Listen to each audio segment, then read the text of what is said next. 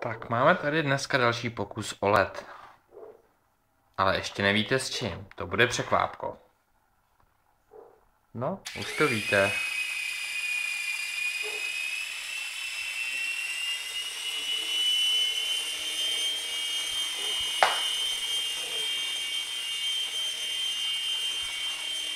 Zkusíme si rotaci a ještě srovnáme výšku.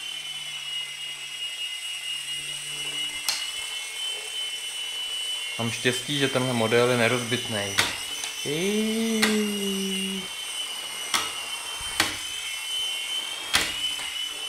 No, tak takhle nějak to vypadá, když člověk neví, co má dělat.